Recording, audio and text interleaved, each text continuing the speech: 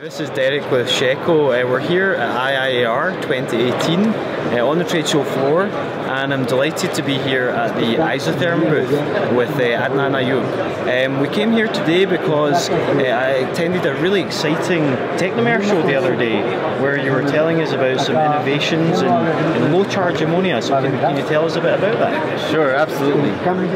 Well, our um, this is our patented uh, SX uh, thin film evaporator. SX is short for uh, Shell Side DX. We came up with the design because, um, as we all know, low charge is really emphasized in ammonia, in ammonia refrigeration, especially with the toxicity issues.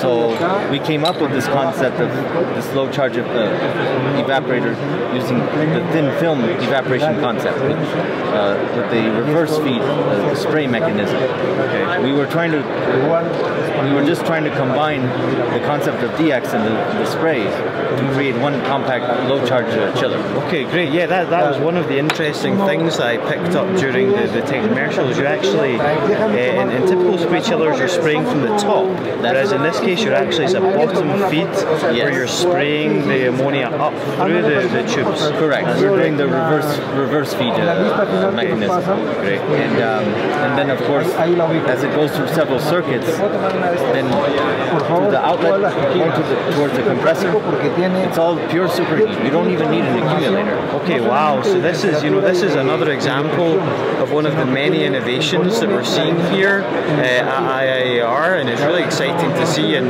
something something we've been talking about is the, is the innovations of these heat exchanger manufacturers and, other component designers is really helping drive the market for, for low charge ammonia. So thanks Adnan for, for telling us about that. Thank you for having me.